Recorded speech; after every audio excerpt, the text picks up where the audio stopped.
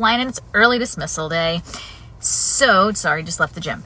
Um, I want to talk a little bit more about palpitations because there's certain things that um, will make me think as a cardiologist that it's something less concerning because palpitations is something that patients complain of every single day in my office. So, first things first.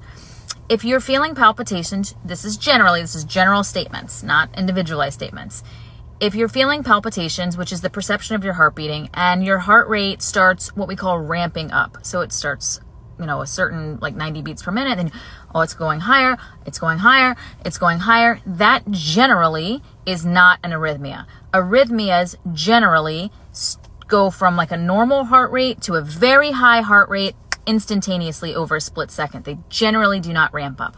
Also, things that patients describe are flip flops in their chest, like they feel a heart flip flopping, or they feel a double beat, or they feel a double beat and then a pause. Those are generally premature atrial contractions, which generally are very benign and can be controlled with lifestyle stuff like sleeping better, having less stress, having less caffeine.